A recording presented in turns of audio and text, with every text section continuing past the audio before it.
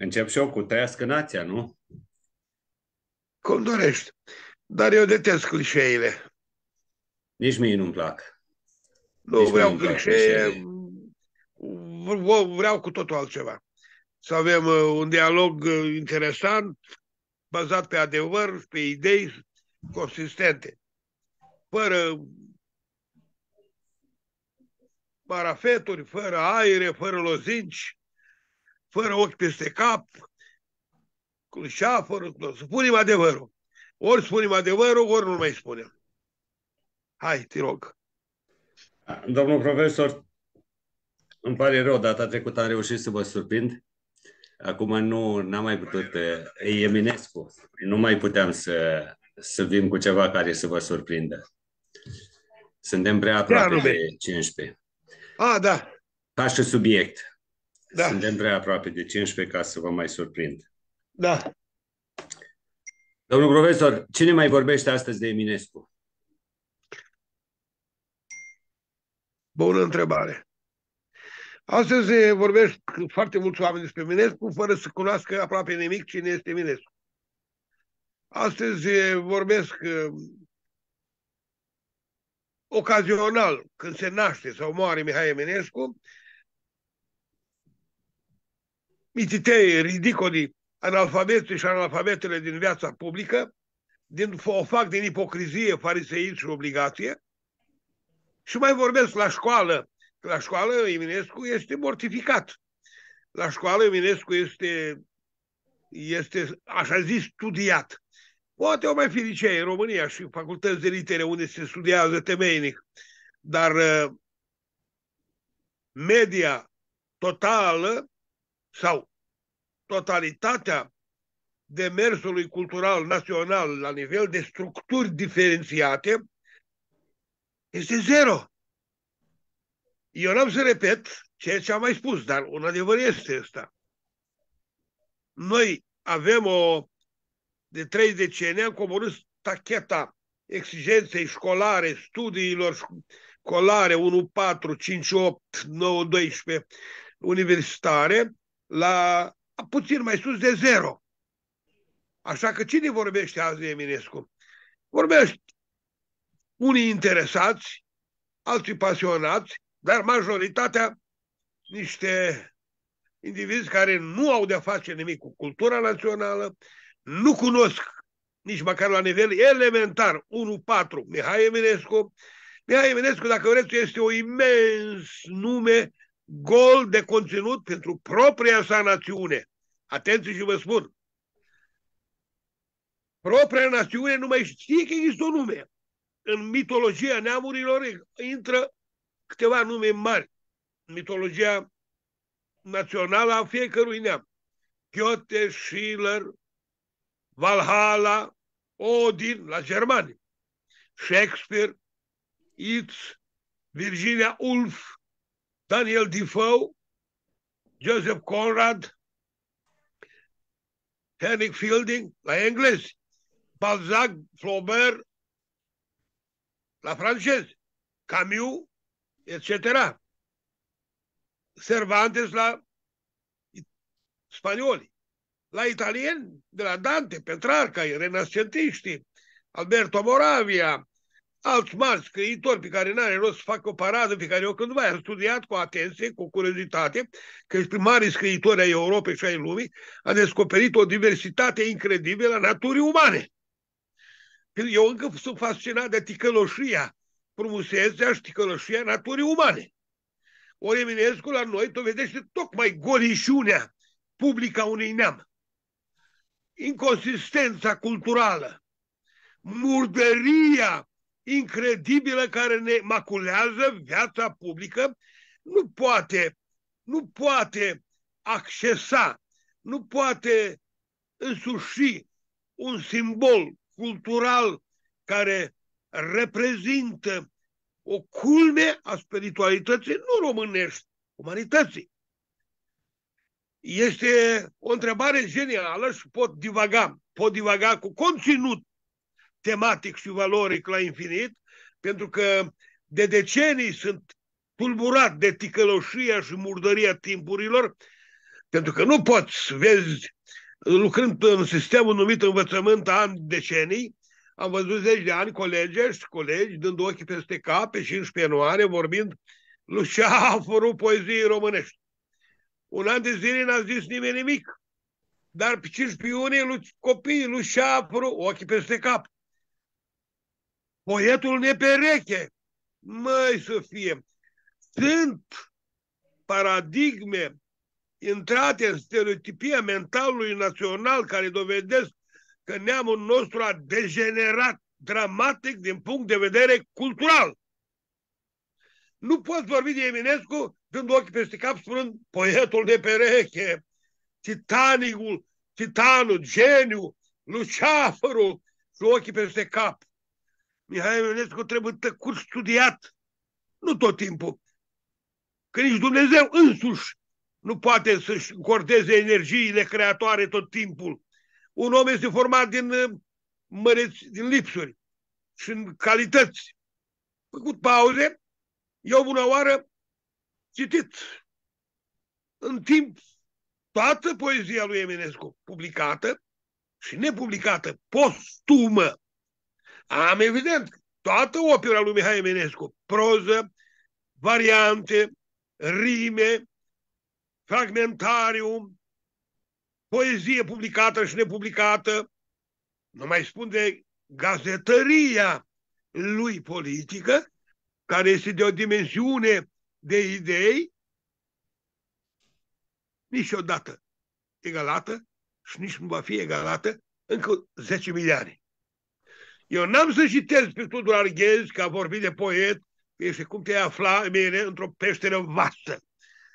Pune mâna oricine pe opera publicistică, un volum de 1800 de pagini sau două volume, depinde ce ediție, Timpul sau uh, Perpesicius sau Marea Operă din anii 80, 12 volume, și informează-te ce cu acest om. E posibil să trăiești 33 de ani, că atât a trăit el, până ce accidentul dramatic din iunie 28, 1883 i-a retezat accesul la Dumnezeire. Că Mihai Eminescu, scriind atâtea lucruri, sigur a intrat direct în contact cu Dumnezeirea. Nici un spirit, dacă lucrează în numele adevărului, nu lucrează de capul său. Asta a făcut Eminescu. El a scris o lirică de... Eu am fost copleșit. Când avem o iubită frumoasă ca o zână cândva, sau alta ca o zână, că am avut șansa asta, recunosc cu sinceritate totală, dezarmantă, eram încă sportiv, tânăr, 32, 35, 36, o ținem în brațe noaptea și șopteam poeme de dragoste, chiar de Eminescu. De la o rămâit sau imposibil cât ce minunat era.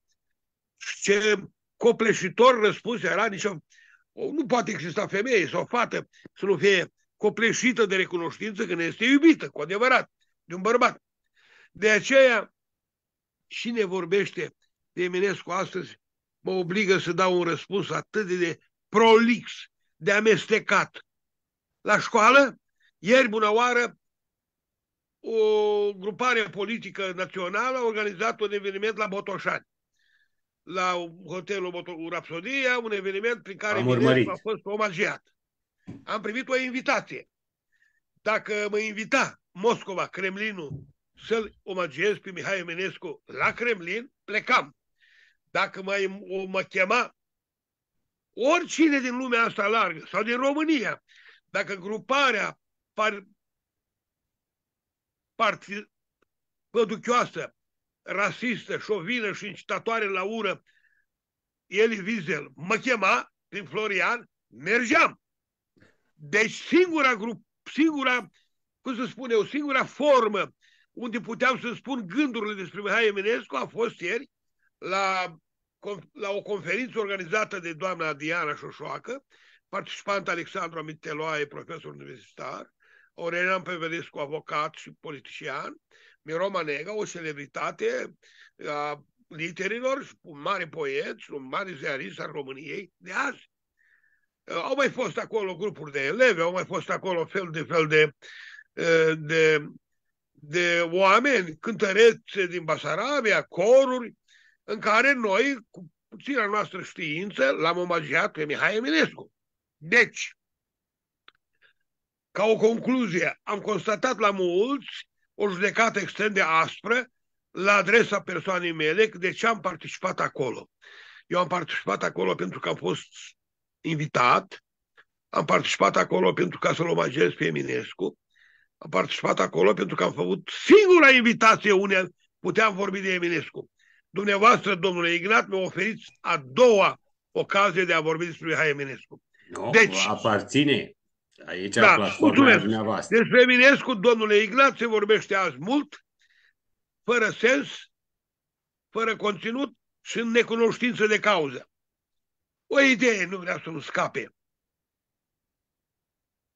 Imediat după 1990, după ce statul și națiunea română au fost capturate de un grup nelegitim de putere sau care s-au legitimat pe uriașe vărsări de sânge, pe 1200 de morți nevinovați care zacă în pământul patriei ca alte sute de mii nerezbunați, nedreptate făcându-le, memoria murdărindu-se, ne spunându-se adevărul, imediat după ce statul român este capturat în România, imediat ce chipurile am ieșit la libertate, când eu strigam cu disperare, cu prietenii mei, că eram încă fotbalist,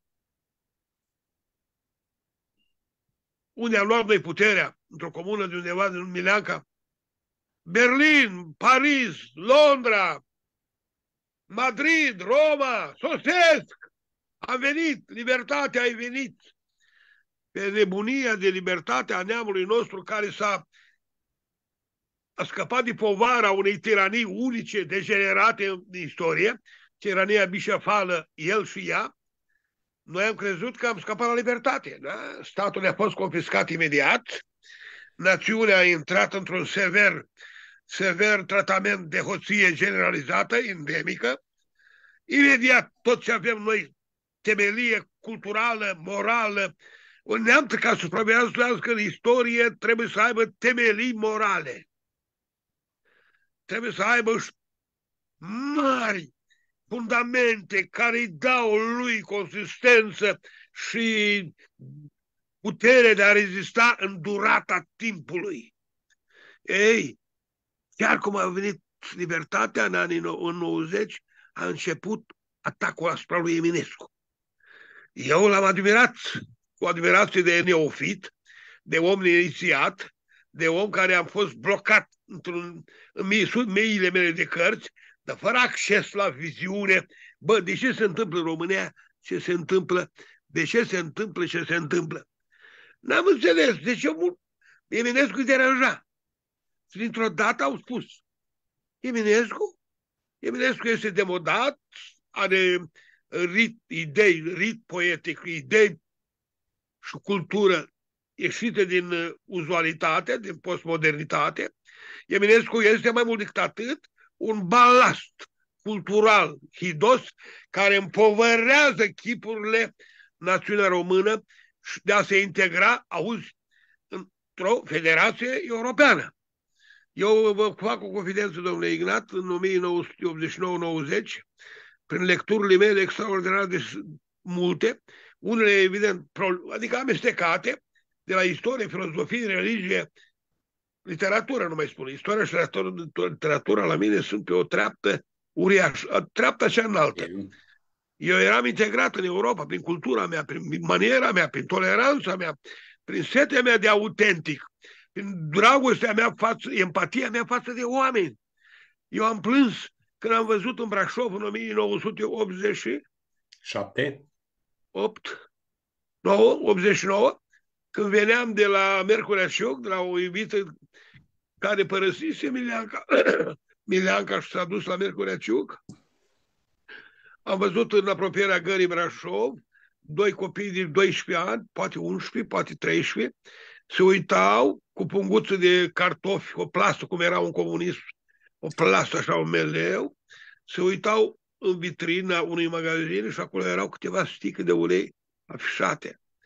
Eu aveam atunci 35-36 de ani, veneam de la iubita mea, eram în cotul Sănutul Sport, blugi, jacă de blugi, Adidas, foarte sportiv, foarte suplu, Un bărbat când iubește este suplu și când este încă tânăr. Plimbându-mă încet, așteptând trenul să cobor spre Ploiești și de la Ploiești să o iau spre Suceava, mi-am duc aminte că am ascultat că vând urechi foarte bune. Spunea un copil celuilalt, ah, aveam cartofi. Era februarie 1989, dar dacă am avea și ulei, a zis copil celuilalt.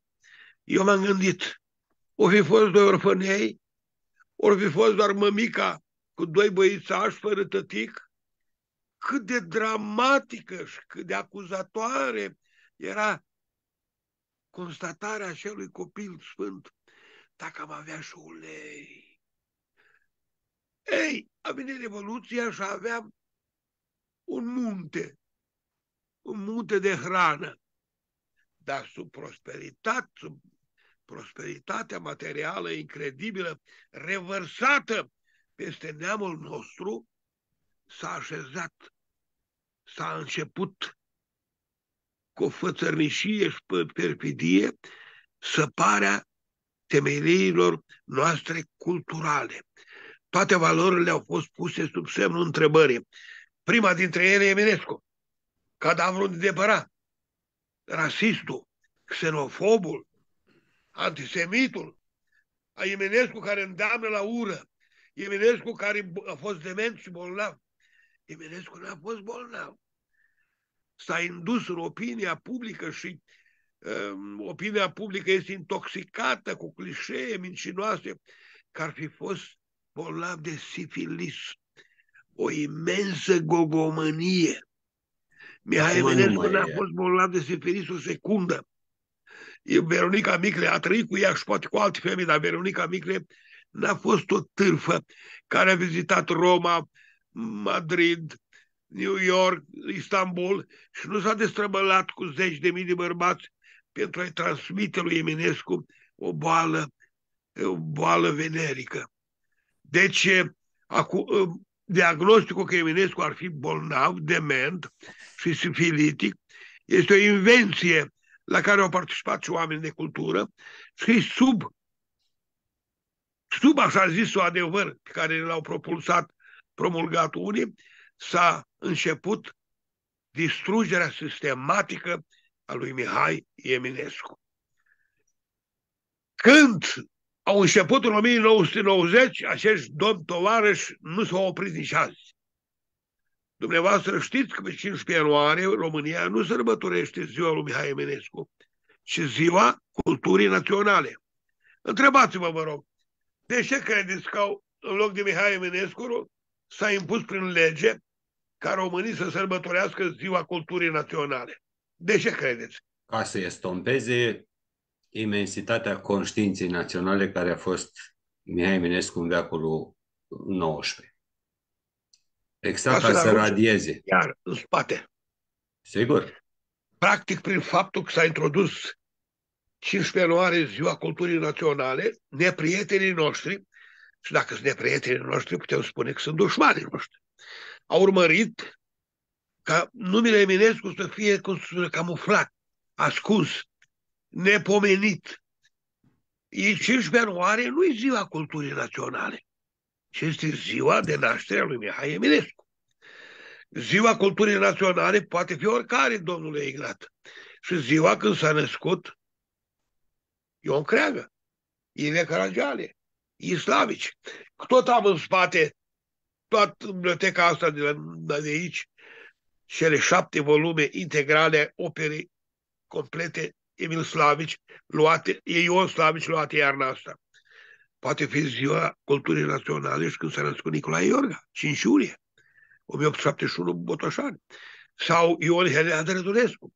Sau ziua de naștere nu se știa lui Dimitrie Cantemir. Dacă nu la naștere, acum morți, o știm. Sau ziua lui de naștere lui Bogdan Petrșei cu HD. Sau ziua lui Nikita. Nikita Stănescu. Sau lui Marin Preda, da, da. 5 august 1921.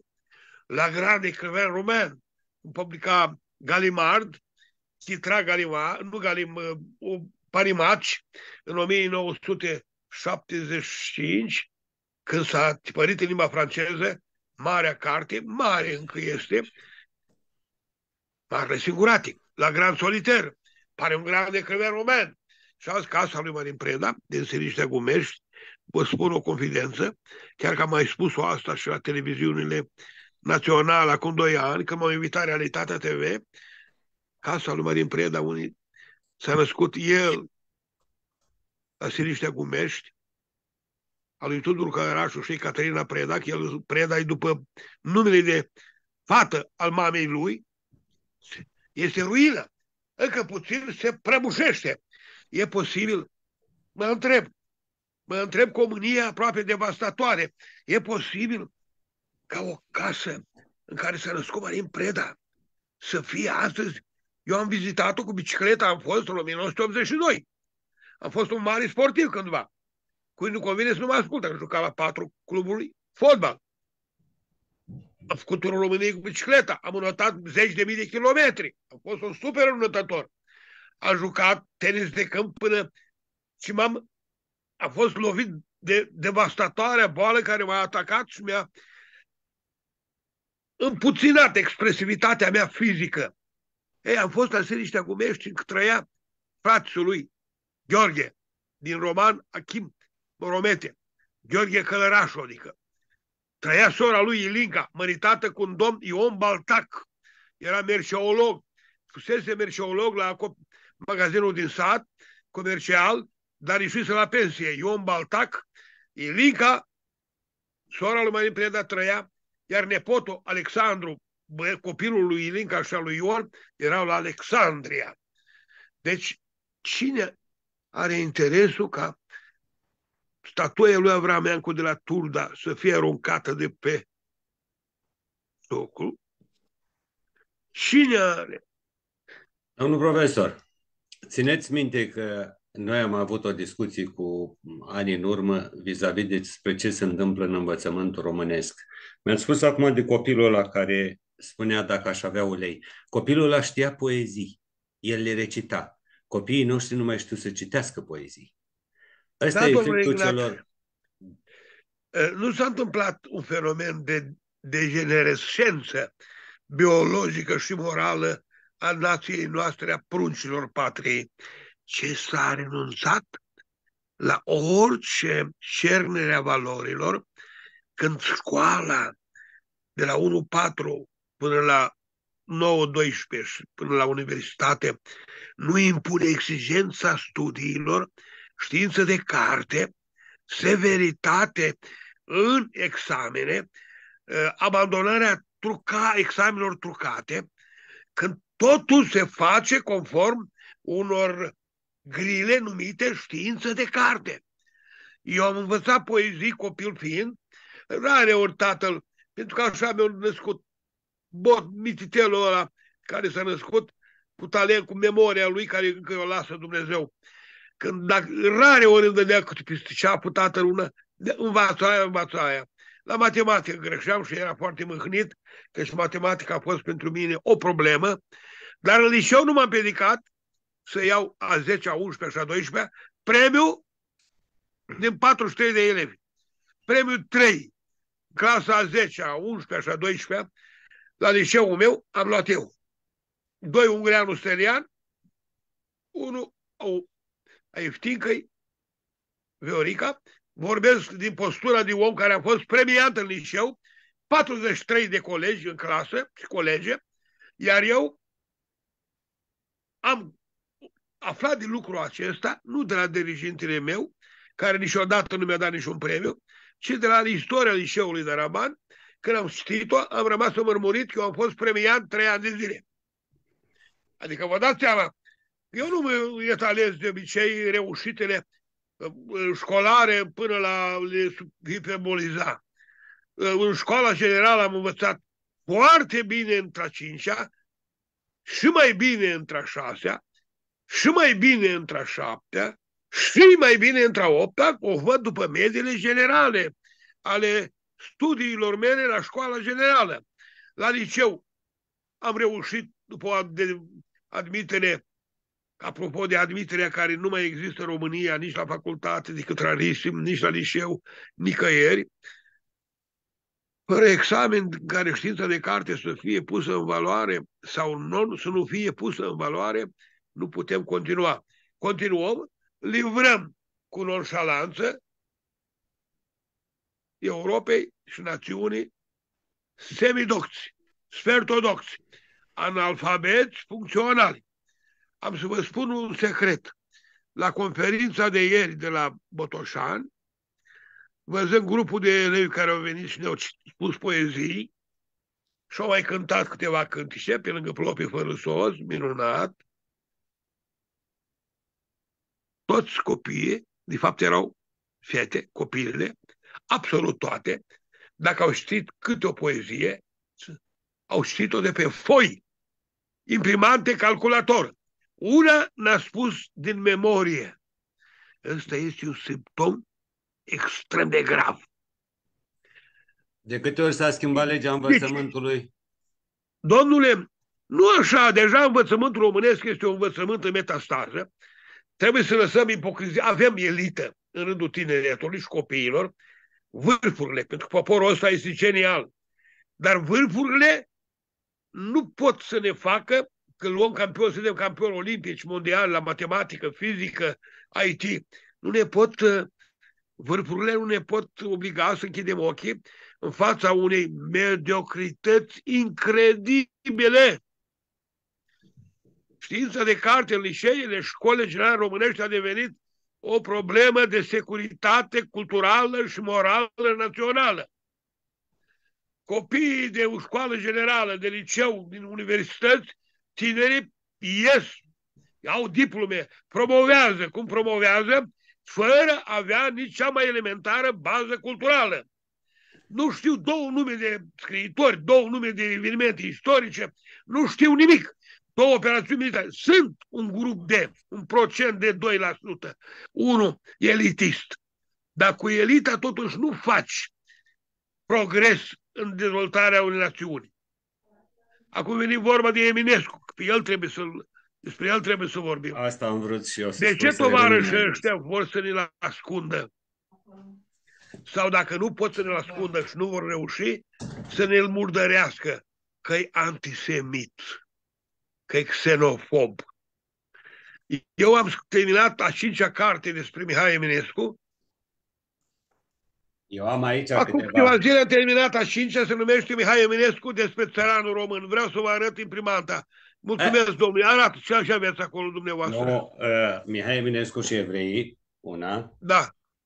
Eu atunci să mă duc la bibliotecă să mai caut și eu alea. Uh, Mihai Eminescu și Basarabia.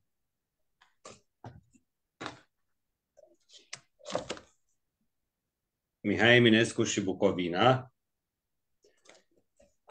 Transilvania și Dobrogea, dacă o găsiți, domnul profesor. Da. Eu am, dar ai rămas la Todirești. Da. Da, am găsit. Am găsit-o, da, uitați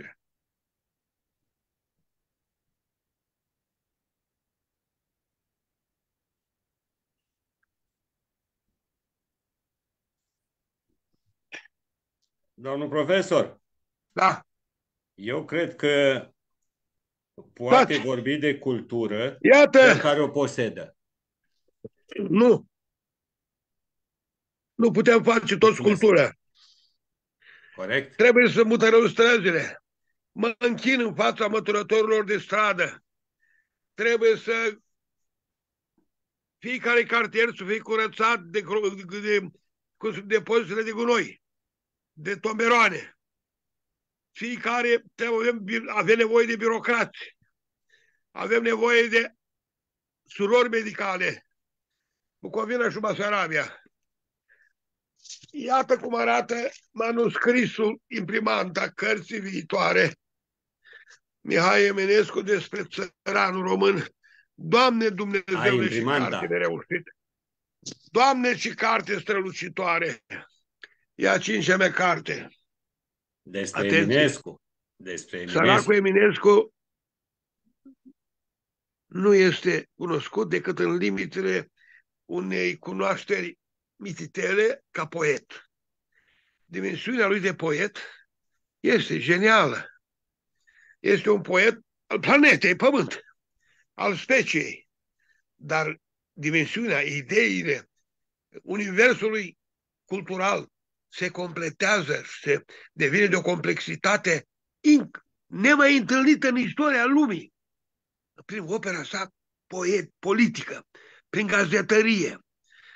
Domnule, am două, trei decenii de când periodic mă opresc asupra marilui opere politice, a articolilor, toate le am, o operă completă și tot rămân mărmurit cum a putut un om de la 27 de ani până la 33 de ani să scrie atât de mult și atât de multe și de valoroase lucruri.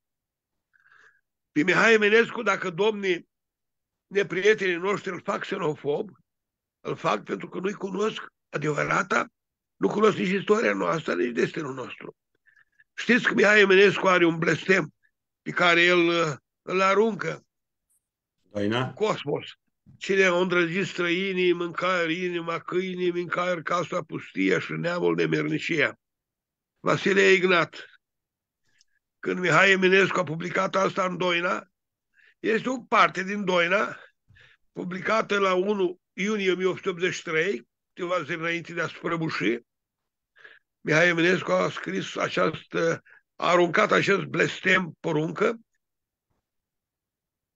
pentru că era martor cum două treimi de neam românesc se aflau sub robie la unguri, la austrieci, la ruși. Dacă Mihai, da, dacă Mihai Eminescu așadar condamnă străinii, nu condamnă străinul în sine, condamnă străinul în sine care a ocupat Transilvania, Banatul, Maramureșul și îi asupra străinul ăla, ungurul, pe români, interzicându-le să studieze limba română în școli, în grădinițe, și că să o facă în maghiară. El detesta străinul care îi obliga pe români să se germanizeze. El, dacă condamna străinii, îi condamna, atenție, pentru că între prucinistru, rusificarea era o operă sistematică, dură, cruntă, a Imperiului Rus. Deci, din postura de cunoscător a unei realități istorice dramatice, aproape două treimi din națiunea română, poporul român în 1880, se aflau sub stăpânire străină. Deci, să intre în cap odată pentru totdeauna, iar spusele mele au caracter de postulat ultim Eminescu n-a urât și n-a detestat străinii pentru că erau străini. Și străinul pe care robea pe români la ei acasă. Pe Mihai Eminescu l-a excedat, l-a înnebunit de mânie și de revoltă, că a asistat și a văzut ce fac ungurii din români și câtă pasivitate civică și lipsă de reacție există la români. Mihai Eminescu l-a nebunit și l-a mâniat la superlativ această indiferența noastră față de propriul destin. Să vă dau un exemplu. În zona Năsăud, chiar în Năsăud, un ungur a fost ales deputat la Budapesta, fiind ales de un singur, de el însuși. Era un singur votant și s-a ales pe el însuși la Parlamentul Budapestan. Și pentru ca să-i batjocorească pe români și mai adânc, domnul Ungur, i-am ținut minte o perioadă numele, a contestat corectitudinea alegerilor, spunând că ar exista, ar exista indici, indici de fraudă. falsificare a alegerilor. Am găsit exemplul la Mihai Eminescu. Vă dați seama? Pentru că eu știu, în Ungaria, anexată la unguri, exista o lege electorală pentru Ungaria propriu-zisă și o lege electorală pentru Transilvania, Maramureș, Crișana, Banat. În Transilvania, 80.000 de români trebuia să voteze pentru a-și desemna un deputat la Budapesta, iar uh, în Ungaria propriu-zisă, 4.000 de deputați, 4.000 de alegători puteau să trimită un deputat în Parlament. Vă dați seama care e diferența? Ce legislație electorală inegală și rasistă și excepțională li se impunea românilor? Tot de la Mihai Eminescu, pentru că scriind cartea Mihai Eminescu despre Dobrogea și Transilvania, am studiat toate articolele lui Mihai Eminescu. Deci, concluzie cu caracter de postulat. Rog pe prietenii noștri, dacă sunt, 2, 3, 5, să mă asculte. 67 acum direct. Îi mulțumesc. Îi mulțumesc și salut cu prietenie. Nu din rasism și xenofobie, nu din ură față de străin, Eminescu a lansat acel blestem din Doina, cine au îndrăgit străinii, în caier inima câine, și dintr-o revoltă a marii lui conștiințe naționale.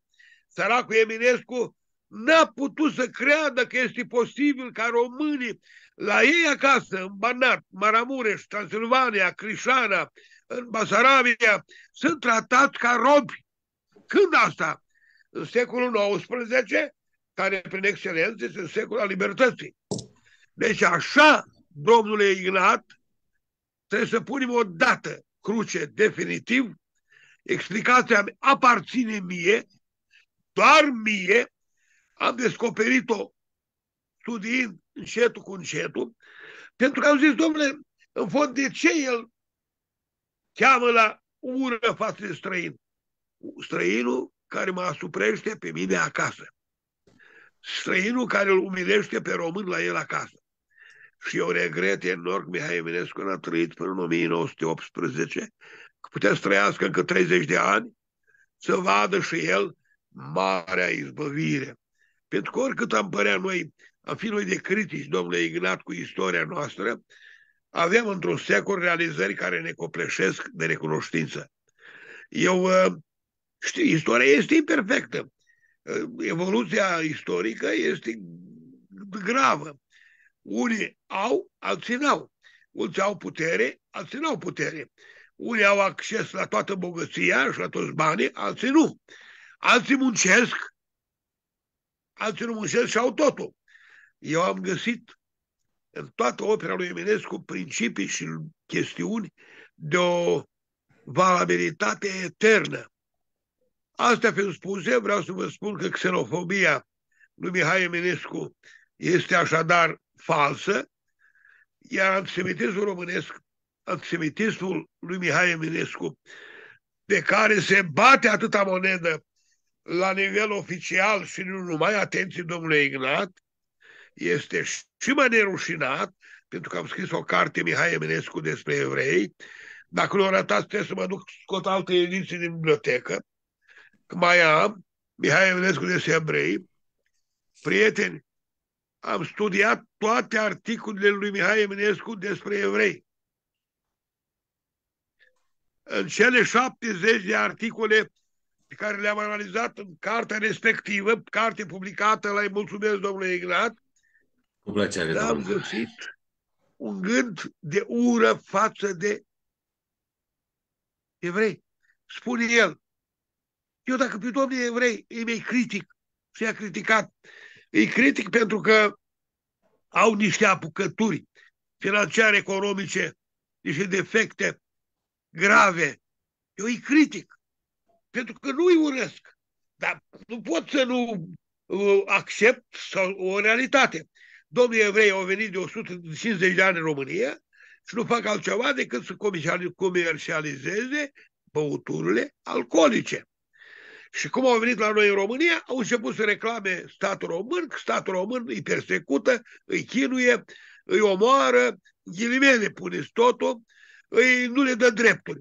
Iar Mihai Eminescu, în articolele pe care eu le-am analizat în cartea respectivă, spune când eu scriu adevărul despre domnii evrei, eu o fac din postura nu de ură față de ei, Eu am compasiune față de marele popor evreu, dar nici nu pot ca țara mea, pe care este creația istorică a poporului român, să aparțină lor. Săracul Mihai Eminescu se revolta împotriva pretențiilor evreilor de a controla statul și de a guverna România. Ceea ce n-au reușit evreii în timpul lui Eminescu, au reușit imediat, după 1990, pentru că eu am să vă spun, domnule Ignat, un adevăr confidențial, pentru că poporul român și, în general, clasa politică, păduchii din viața politică românească, nu o spun lucrul ăsta pentru că le frică să trăiești în țara ta, să fii în Parlamentul României, în guvern și să fie frică să spui adevărul, este o mare degenerare.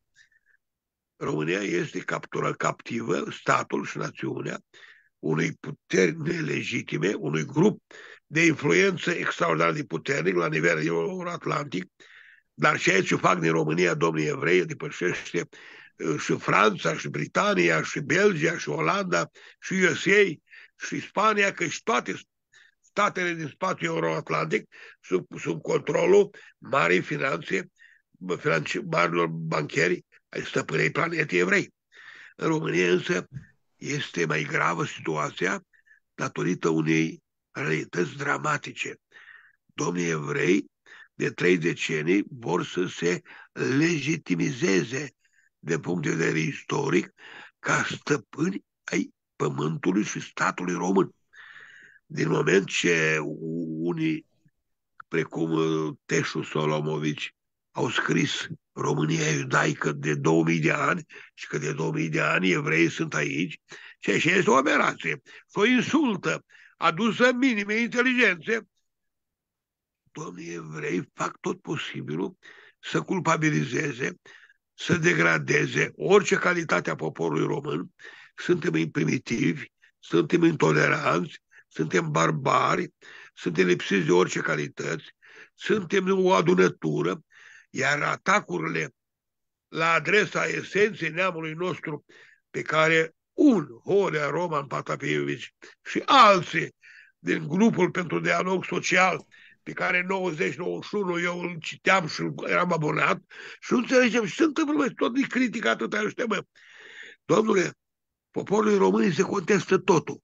Și originea, și limba, și existența, și istoria, și valorile, și mari părinți fondatori culturali și istorici poporului român îi se contestă cea mai elementar calitate istorică. Nici un popor din istoria Europei și a lumii nu este atât de umilit și atacat în însă și inima sa cum fac acești oameni. Acum doi ani, domnule Ignat, o studentă de o frumusețe tulburătoare, de la Facultatea de Litere și Ziaristică din Iași, m-a contactat, și domn profesor, m-am găsit pe Wikipedia, aveți o, o extraordinară viață culturală, multe cărți, articole, o fi copățit. Am stabilit să iau un interviu. Am luat, interviul mi l-a luat în ianuarie 2020, 2020, cam așa. Domnul meu, din cele 10 întrebări pe care fata mi le punea și eu răspundeam direct, șapte erau despre antisemitismul românesc. Șapte! Am așteptat să publice interviu pentru că am spus este prea multă monedă se bate despre antisemitismul românesc. Nu există. Din moment ce într-o sută de ani au venit în spațiul nostru două milioane de evrei, s-au integrat, unii au trăit, unii au devenit bancheri, unii au devenit stăpâni economiei și profesiunilor liberale, putem vorbi de antisemitism. Evident că explicațiile mele și că au deranjat-o foarte tare pe profesoara ei, au strâns, au strâns din gurița ei de cretină vândută. Pentru că ai ști de la mine, domnule Ignat, România azi, dacă are impostori, mulți și infractori culturali, și analfabeți funcționali mulți, unii dintre ei sunt profesori universitari. Cu siguranță. Da. Domnul profesor, e, e generalizată prostituția în mediul intelectual. Asta nu da, contează. Până la urmă, băieții ăștia sunt penibili. Dacă au ajuns să ne acuze acum pe noi de antisemitism, unde există antisemitism în România? Să fim serioși. Cine îi urăște? Este o... Hai, e, e o glumă. Da, dar e, atenție, pe nu interesează. Observați da. că ei legi, legiferează. Ei emit legi pentru a se prevala de existența legii, pentru a ne umili. Nu uitați că au creat prin lege o grupare teroristă, grupul lui Elie Wiesel. Nu uitați că printr-o lege statul român și-a asumat o minciună istorică, Holocaustul. Nu uitați că tot printr-o lege, acum doi ani, se impune în învățământul românesc studierea istoriei evreilor.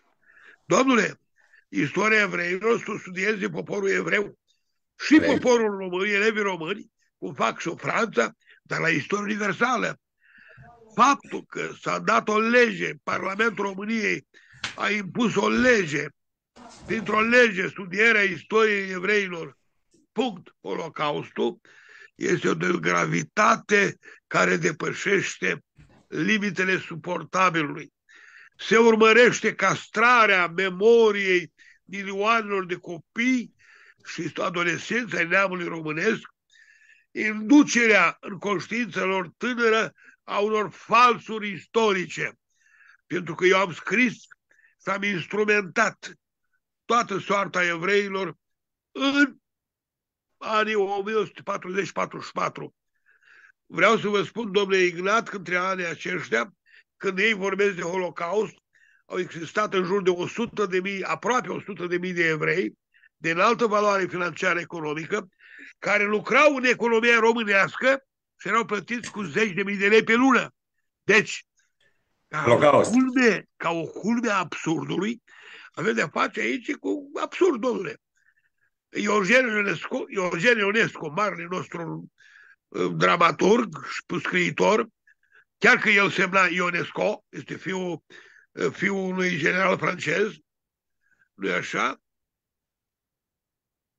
Are piesele alea, dramele, piesele alea uluitoare, scaunele, lecția din anii 50, Rinoceri, cântăreasa cheală, eu le-am citit cândva, eu le-am citit, nu urmărit pe scenă. Este absurd. Deci, 100 de mii de evrei sunt funcționari în întreprinderile românești, cu acceptul șefului statului spunând că Antonescu le-a spus, bă, nu fiți, sunteți culmea. Cum să dăm afară pe inginerii evrei, specialiști evrei, bancherii evrei, care ei știu tot secretul economiei? Sunteți nebuni? Cum să-i dăm afară? Dezorganizăm economia României. Ne distrugem. Îi lăsăm acolo. Românii să învețe meserie de la evrei, zice el. Right. Și vreau să vă spun, domnule Ignat, că în anii 1942, 41, 42, 43, 44, în România, lui Antonescu, zeci de mii de evrei lucrau în, legal, cu salarii uriașe, și noi vorbim azi de holocaust. Domnul profesor. Spuneți-mi, cât să mai suportăm asemenea minciună? Eu știu că suntem lași, oamenii. În fața plutonului de execuție, eu nu știu cum aș, aș reacționa, dar sunt sigur că știu. Mi se scârbă să mai respir într-o țară în care toată inteligența, toți profesorii, toți scriitorii, toți academicienii, toți universitarii stau ca oile și le pupă undeva pe ăștia care le dau legi și îi interzic să cerceteze adevărul istoric. Domnule, Domnul da. profesor, eu când uh, mă uit în istorie, mă uit în spate, văd și cine vorbește despre istorie. Ați pomenit de Patapievici. Cum pot să cred eu? Uh, tatăl lui a fost un criminal dovedit. Uh, liderii militari, da, liderii militari ai Unirii, cei care au început primii, uh, Maiorul Catele și familia lui, au fost torturați și asasinați la Viena exact de către uh, tatăl lui Horia da. Patapievici. Da. Ce încredere da, poți să am eu în omul ăsta? Domnule, în uh, cărțile lui de eseuri politice a făcut o radiografie negativă care mi, mi se face scârbă aproape. Niciodată în istorie nimeni nu a scris atât de urât despre români. Ascultați-mă. Și eu care citisem cărțile, studiile, admiram, tot m-am întrebat, bă, ce are omul ăsta cu noi românii, bă? Adică omul acesta atât de tare ne-a murdărit, dar nu că m-a murdărit, acum am rămurit. În anii 96-97, când a apărut politice sau omul recent, nu știam de ce ne acuză, ne murdărește. Dar acum, domnule Ignat, am înțeles că e vorba de o strategie extraordinar de bine pusă la punct, prin care tot ce este românesc este murdărit, tot ce este românesc trebuie compromis, acuzat de xeno și antisemitism. Tot, domnule, eu mă mir că nu-i fac xenoantisemiți domnii de la Institutul Elivizer și pe primii regi ai Daciei, de la Burebista, de la Deceneu, de la Dromihete, Comosicus, Dapix, Giraxes, Teșebal, Iurpaneu. Să facă pe Traian, știți în ce. Deci, da. De mă mir că nu tot ce... Păi, păi, iată un parazitism verbal de care nu scap. Eu sunt un om care m-am autozitit pe mine însumi ca și om știutor de carte și totdeauna am fost foarte atent să evit parazitismele verbale, acest păi mă deranja teribil. Cum credeți dumneavoastră că raportul Eli Wiesel din 2005 prin care neamul române, neamului românesc, istoriei și culturii românilor li se face o radiografie devastatoare în rău de parcursul istoriei noastre. Cum credeți că s-a ajuns să se scrie negru pe alb în 2005 despre poporul și cultura română? Punct. Continui. În istoria poporului român, Holocaustul nu a venit din altă parte. Nu a venit din Germania lui Hitler. Nu a venit din cer adus de arhanghel și de îngeri și Holocaustul, și acum urmează o afirmație care te poate îngheța de disperare și de mânie și revoltă, în România, Holocaustul nu trebuia adus de nicăieri, pentru că Holocaustul românesc, atenție, zice raportul, face parte intrinsecă, intrinsecă din cultura și istoria poporului român. Această frază care am citit-o în raport cu ochii mei, trebuia să determine o revoluție națională în România. Nimeni n-a reacționat. Deocamdată sunt sigurul care, cu micile mele mijloace, la nivel de opinie publică, reacționez. Dar care este cea mai mare tragedie și nerușinare și ticăloșie o asemenea afirmații. Și am să fac o pauză, ca să am vorbit deja prea mult. De, departe de a fi adevărat o asemenea afirmație, ea este atât de nedreaptă și ticăloasă dintr-un motiv simplu. Peste o mie de ani, poporul român, el însuși a fost victima istoriei, a rasismului altor neamuri. Poporul român, el este o victimă istorică majoră. Nu uitați că românilor, pe pământul lor istoric, după ce li s-a ocupat de către unguri provinciile cunoscute Banat, Maramureș, Crișana, Transilvania, li s-a impus un regim de discriminare religioasă, socială, politică socială unică ca lungime și ca asprime în istoria Europei. Și tocmai poporul cel mai oropsit, care se eliberează de lanțurile robiei străinilor la 1918, este acuzat în 2005 că el a experimentat în existența sa istorică Holocaustul. Vă dați seama? Deja e vorba de o aberație, o nebunie. Și totuși, România toată lumea tace. Spuneți dumneavoastră, cum judecați această tăcere a mediului academic și universitar? Nu. No. Uh, știți cum e? Uh, mediul academic și universitar s-au vândut și noi mai putem lua în calcul. N-aș spune vândut, prostituat, termenul uh, s-ar potrivi mai bine. Băieții ăștia penibili și ridicoli, noi nu putem să îi luăm în seamă. Vorbesc de cei care fac acuze, gașca aia de la televiziune. Și știți, noi facem o greșeală. În fața nedreptății avem tendința să ridicăm tonul. În momentul în care acuzele lor sunt complet nefondate, în fața nedreptății și a uh, neadevărului, noi avem tendința să ridicăm tonul. Și atunci ei vin, ești antisemit. Nu, bă, nu-mi plac niciunele tale, atâta tot. Minți, e simplu. Deci cum să spui tu că ai Domnul fost Igrat. în Dacia, înaintea lui Decebal și alte Domnul Igrat, eu am dat exemplu cel mai limpede de da. rea o lor credință. Eu nu am să spun, grupul acesta, Elie Wiesel, este un grup terorist.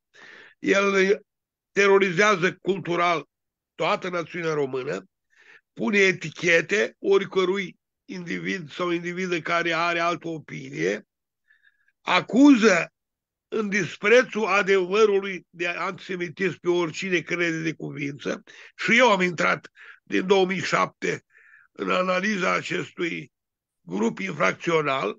Pentru mine grupul acesta este o infracție, este o anomalie într-o societate liberă cu adevărat. Nu trebuie să existe o grupare politică de 15-20 de membri care să controleze și să supervizeze viața culturală și ideologică a unui spațiu.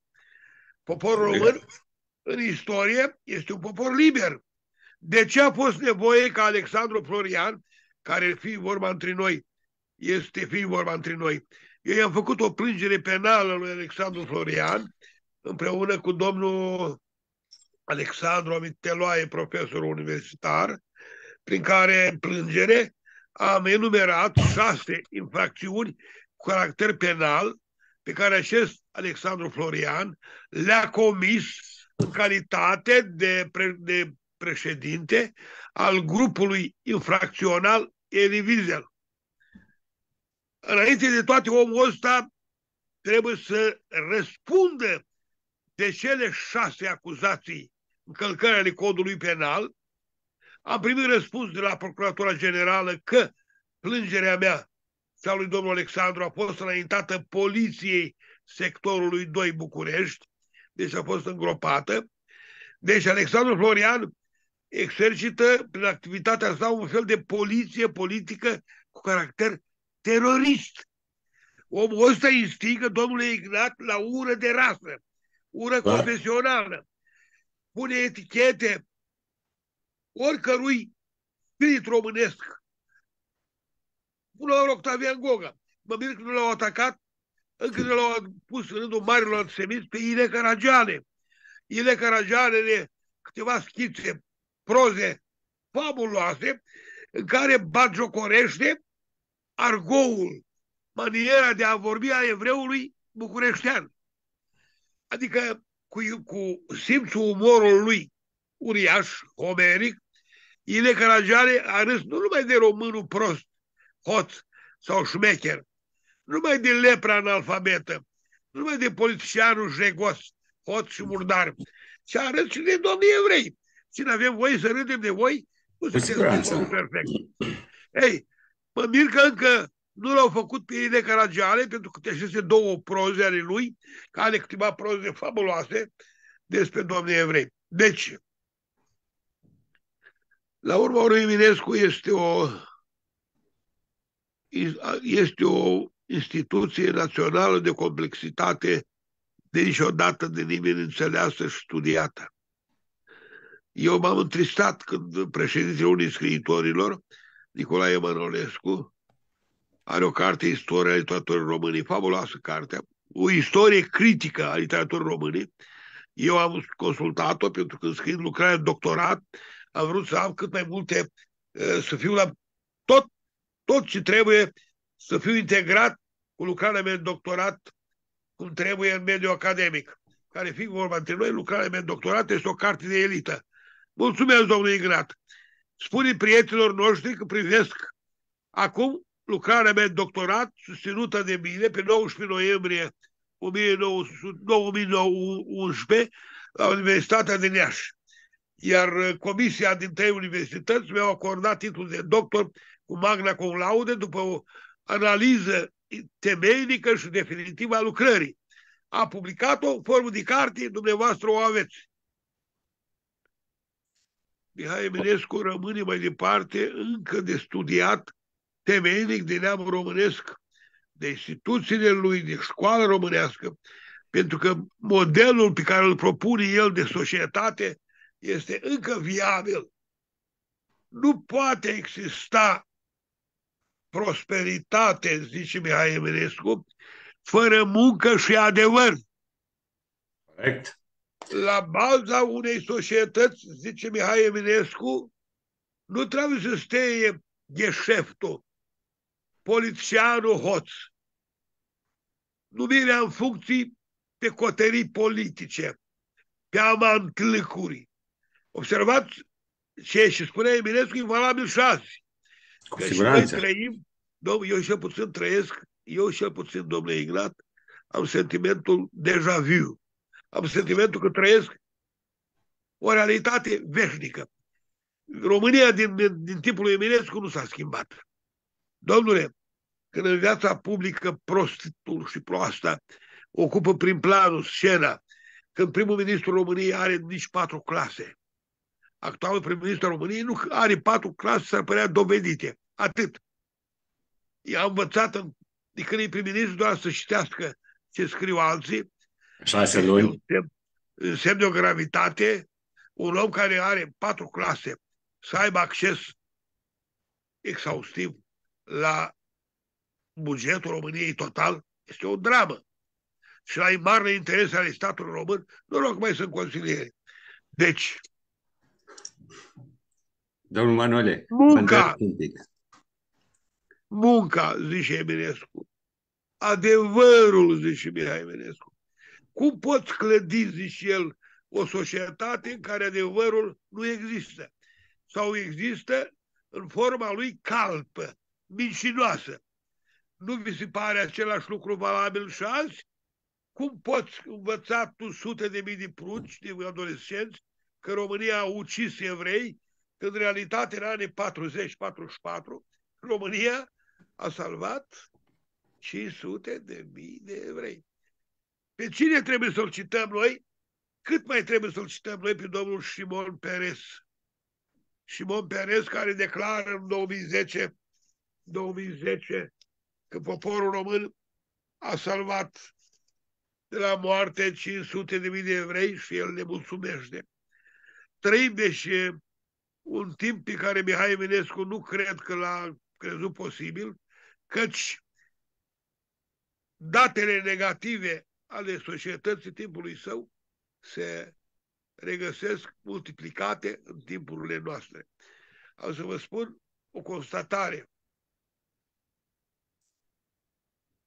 Citind cu atâta răbdare și cu atâta acribie ca să scriu o carte bunăoară despre țăranul român în viziunea lui Mihai Eminescu, trebuia să iau toate articolele, cap-coadă. Când vezi tu cum scrie el, cum poporul român de țăran muncește, produce tot ce are valoare țara, ei dau totul țării, statului, și statul nu le oferă lor nimic decât taxe, taxe, parataxe, notari, primari, suprefecți, prefecți, ministri, guverne, abuzuri, nedreptate, nici o lege nu-l protejează. Și zice el, ei au adus independența. Un articol al lui Eminescu din cartea pe care am terminat-o zice la un moment dat. Luați foaia de pe telefon, domnul profesor. Poftim? Luați foaia de pe telefon. Da. Așa. Uitați-vă acum să vă spun. Țăranii formează, în viziunea lui Eminescu, singura clasă productivă din România.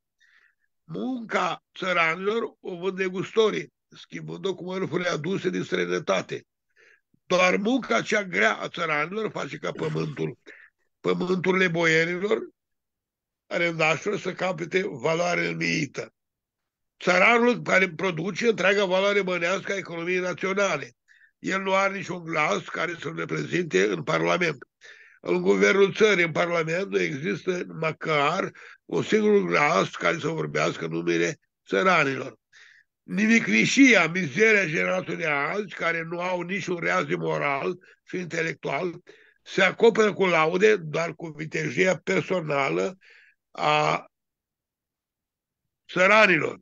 Țăranii, cu vitejia lor dovedită în război, au dreptul să intre triumfal în Sibaris. Că Sibaris, eu știu ce a vrut să zică Eminescu, Sibaris este un oraș din sudul Italiei, la Talpa, între Tarent și Sicilia. Un oraș din Grecia Magna, că și între secolele 8 și 3 înainte de Hristos, sudul Italiei s-a numit Grecia Magna. Și orașul Sibaris, o colonie grecească din sudul Italiei, era atât de bogată și oamenii trăiau atât de rafinat. Uh, moravurile atât de jos căzuseră, uh, uh, făceau absolut tot ce, ce le trecea prin cap, încât orașul Sibaris, în lumea antică, a devenit, atenție, echivalentul degenerării absolute. Un fel de Sodoma și Gomora a creștinilor. Și spune Eminescu, vitejia țăranilor le dă voie să intre triumfător în Sibaris, care în momentul 1878 Sibaris era egal București. Deci, actualitatea lui Mihai Eminescu este încă copleșitoare. Principiile pe care el le așează și le consideră infailibile pentru a zidi o societate, o lume dreaptă cât se poate, corectă, morală cât se poate. Tot în baza celor scrise, postulate, subliniate de Mihai Eminescu. Așa că nu mă miră într-o Românie guvernată de trei decenii de politicianism, de hoție și în altă trădare, atenție, în altă trădare, nu mă miră că Mihai Eminescu este făcut dement, este făcut bolnav mental, este atacat, murdărit în fel și chip. O asemenea simbol național, orice popor din lume, dacă ar avea, n-ar... Mie mi-a spus odată un italian, Bă, dar bă, la voi Eminescu ăsta e tare și mare, dar bă, de ce îl bat joc alții de el? Nu știu, domnule, nu știu cu Eminescu, nu mai las în pace. Păi la noi în Italia, dacă s-ar lega să zicem, care ce simboluri mari aveți aici? Cum să avem? Avem pe Dante, avem pe Trarca, avem pe Trarca, avem Boccaccio, avem pe Alberto Moravia, eu îi știam pe toți. Pe cine mai aveam pe Leopardi, un foarte mare poet romantic de secolul XIX italian, nefericit în viața personală, noi nu dăm voie nimănui să ne batjocorească valorile. La voi ce asta? Mi-a spus un domn din vestul Transilvaniei, din nord-vestul Transilvaniei, în Polonia, oricine îndrăznește să acuze un polonez sau poporul polonez în ansamblu de antisemitism, a doua zi se activează clauza penală și acel individ sau individă e dată în judecată. Polonezii în nu Polonia permit. sunt polonii la putere, domnul profesor. Așa? În România nu în sunt România, români. În România domnii evrei sunt la putere și ne acuză în fel și fel. Da. E simplu, trebuie să induci un sistem de un, un sentiment de culpă victimei ca să poți să obții uh, ce vrei, ce urmărești de la el. Uh, poporul român acum e victimă. Ei au schimbat da, doar da. metoda. Da, bine, bine ați mai constatat. Într-adevăr, ne induc, duc, induc românilor sentimentul de vinovăție, dar izgonesc și de acasă. Observați de vreo două decenii, românii toți sunt fugăriți de acasă. Știți că această plecare în masă, practic spațiul românesc în 2-3 mii de ani, de mă refer la, hai să zicem, la cultura cucuteni, toți suntem o treime urmași culturii cucuteni neolitice. De 5-6 mii de ani, spațiul românesc nu este un spațiu de emigrație. De la noi n-a fugit nimeni. Este un spațiu miraculos.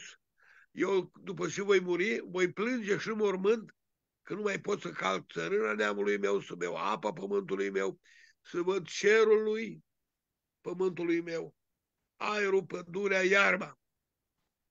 Și cum s-a făcut ca 5.000 de ani aici continuitatea de viețuire neschimbită, din 90 până în 2000, când au pus ei la cale ingineriile financiare prin care toată averea națiunii au confiscat-o ei și au fidelizat structuri de putere, au creat caste socioprofesionale, iar poporului s-a spus, nu aveți întreprinderi rentabile, nu, nu aveți locuri de muncă, vă închidem totul, plecați și muriți de foame.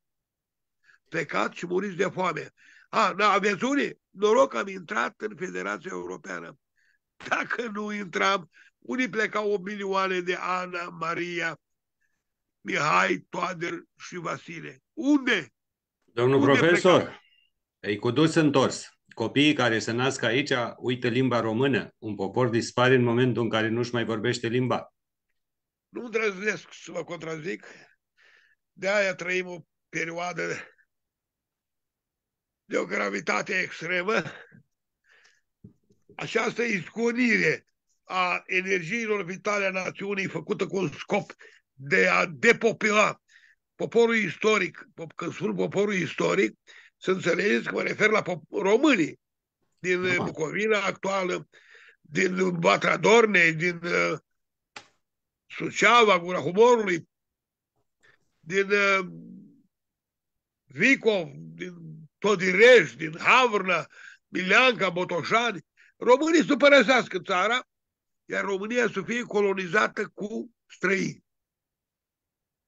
De ce trebuie să aduci muncitori din Vietnam, din Bangladesh, din Sri Lanka, din Nepal, în România, când ai milioane de, de români peste hotare și cărora nu poți să le faci decât repezi de două, trei ori, patru ori, de zece ori în mass media, la știri, veniți acasă că vă oferim locuri de muncă, două, trei mii de euro. Ar lăsa toți dracului și Spania și Franța și Germania și ar veni plângând cât mai repede la uița lui, la fântâna lui, la mormântul lui bunicsul, străbunicsul, cum am eu atâtea morminte, ar veni unea calcat el de sculți prin țărână. N-ar sta săracul și ar umbla în toată Europa, că și eu am un fost elev, un foarte bun un uh, profesor de istorie, mi-a fost elev patru ani, a fost diriginte, s-a însurat, nu i-a mers căsnicia, ca să spun, da, unele femei sunt dificile și el molcuț, dar băiat de mare valoare, a predat istoria printr-o comună minunată, de vreo 5 ani de zile e șofer, pe tir. A părăsit învățământul, avea doi copii, să-i poată crește. De ce un profesor de istorie România nu-și poate crește copiii să nu aibă și el 2000 de euro și are un salariu ridicol, cum am avut eu toată viața? Și de ce politicienii care au patru clase, două clase, șase clase sau fel de fel de studii la nu știu ce universități de nișă, au milioane. Rămânesc eu, domnul profesor. Vedeți? Concluzia gravă. Izgonirea milioanelor de români din pământul lor este face parte într-un plan prin care România să fie repopulată. Și înainte de toate, stăpâni, să ai fi serioși, să fie domnii evrei. Domnii din poporul talmudic au dreptul la stăpânire asupra României, de asta și legitimează, de aia spun ei că ne-au adus independența, Marea Unire, de asta spun ei că ne-au adus laptele și șmerea și noi suntem un popor lipsit de recunoștință. Și acum o să vă mai dau o, un punct de vedere pe care eu îl, îl împărtășesc de multă vreme. Domne, domne evrei, ne modifică istoria deliberat. Obligatoriu. În interesul Domne evrei ne modifică istoria, atenție, și ne coboară, adică ne degradează, ne acoperă cu indiferență, cu tăcere, tot ce înseamnă câteva milenii de evoluție istorică. România nu există pentru ei decât în măsură în care stă la dispoziție să facă ei ce vor. Domnule, este incredibil, repet, incredibil să acuzi un popor de Holocaust când în istoria acel popor este el victimă. Noi suntem victime. Și ei ne acuză pe noi că noi am fost poporul care am terorizat și am ucis. Suntem xenofobi prin definiție ca o axiomă universală. Este un caz de, de mare tristețe și se întâmplă cu statul român. Observați că tot ce înseamnă structuri economice, financiare ale patronilor români sunt hăituiți de stat. România este practic, domnule, o țară sub ocupație. Și nu numai România, și tot spațiul euroatlantic. E sub ocupație, iar acuzele de antisemitism care se aduc românilor zi și noapte, vă că au încetat de o perioadă, dar au încetat din cauza necazurilor din Gaza, de o retragere strategică, dar faptul că încă se războiesc cu Mihai Eminescu și cu tot ce avem noi mai important în cultură, dovedesc că ținta lor este să ne degradeze, să ne distrugă orice sentiment de demnitate și de mândrie firești pe care ar trebui să le avem ca și mare popor, creator de istorie și cultură. Evrei au luptat, domnule Ignat, în oștrile lui Litovoi, la 1277. Au luptat domnii evrei cumva în uh, marele război al lui Radu la Fumați. A fost 19, între 1521, 22, 1524. 19, toate trecute pe piatra lui din mormânt. Viteazul, Viteazul Radu de la Fumați. Evrei au luptat evrei au luptat la călugărie domnul, și la Giurgiu și la Târgoviște în 1595. Eu știu că Mihai era hăituit în momentul când el mergea cu miile de călăreți spre Giurgiu, de la Târgoviște, când au venit aliații, de trei creditori evrei care voiau banii. Căci Mihai a ocupat tronul la Vaslui, unde oștile românilor moldoveni cu 5.000 de secui, atât în aliați, plătiți cu bani grei, cu bani grei plătiți de Ștefan, evrei luptat la Vaslui, la Obertin, în cele 36 de lupte al lui Ștefan cel Mare, 36, că Ștefan cel Mare spune medicului Italii, venețian, Muriano, la Sușeava, în 1503, să știi, domnule medic, că eu în lunga mea domnie am avut 36 de mari războaie. 34 am biruit, două am pierdut. El a spus-o. Iar Matei Murianu a scris, a scris asta către stăpânul său, dogele Loredan al Veneției, al doilea al Veneției. Evrei au atacat la baionetă la Mărășești sau Gheorghe Manole? Au dezertat? Eu știu că au dezertat.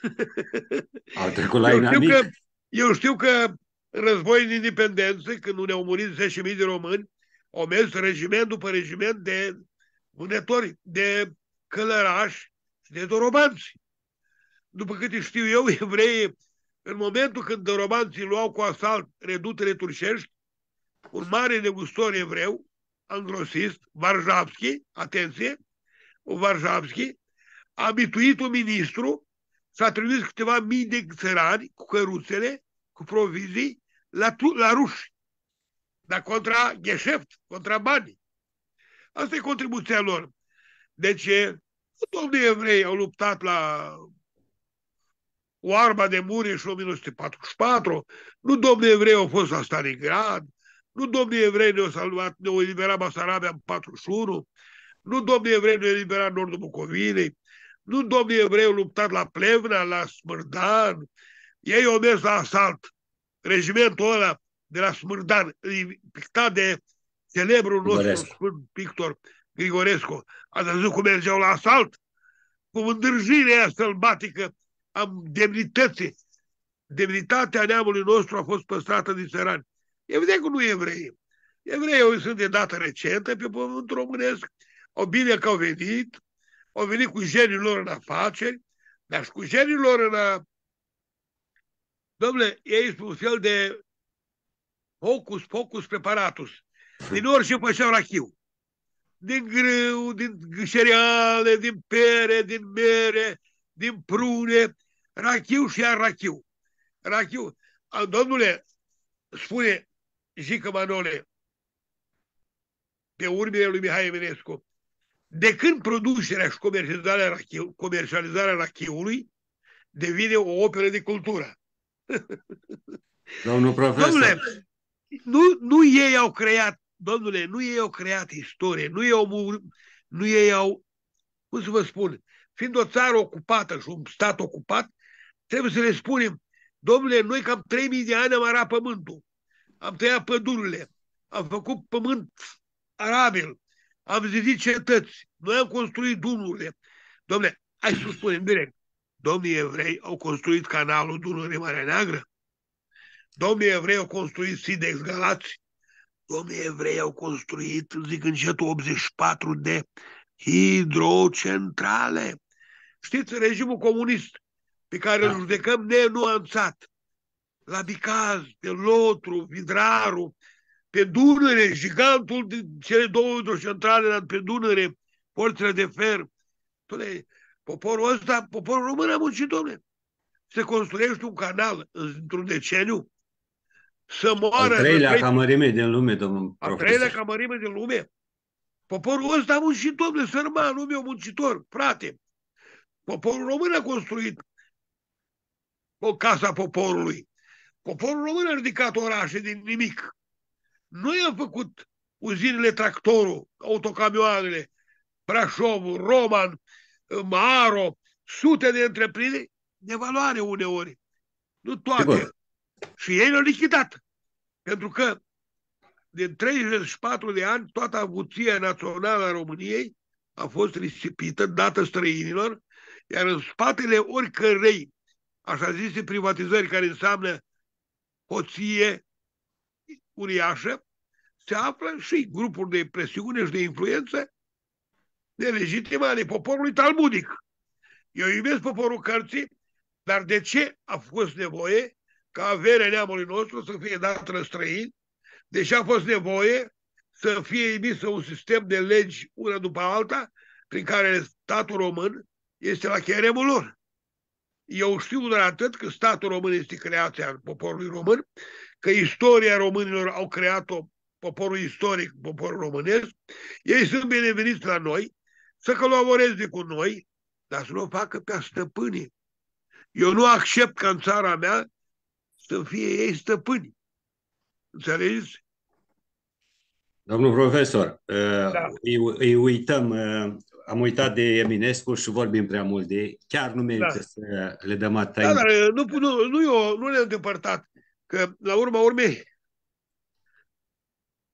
domnii aceștia cărora eu nu li port nici un pic din pică decât că măsura în care fac rău poporului meu și României, ei au o ură năprastică constată față de Eminescu. Și trebuie să, da, și trebuie să explicăm de ce Eminescu pentru ei a devenit o țintă fundamentală. Vor să-l, vor să-l, să-l facă mic, vor să-l acopere cu